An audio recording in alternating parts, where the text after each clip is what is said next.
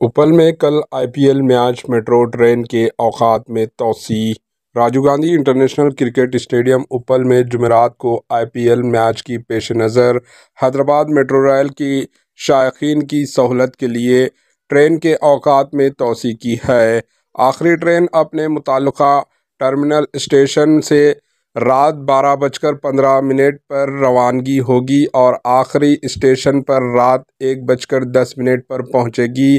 ख़ास स्टेशनों पर ही मुसाफिरीन को ट्रेन में सवार होने की सहूलत होगी, जिनमें उपल स्टेडियम और N G R I station शामिल हैं। Bureau report, H news.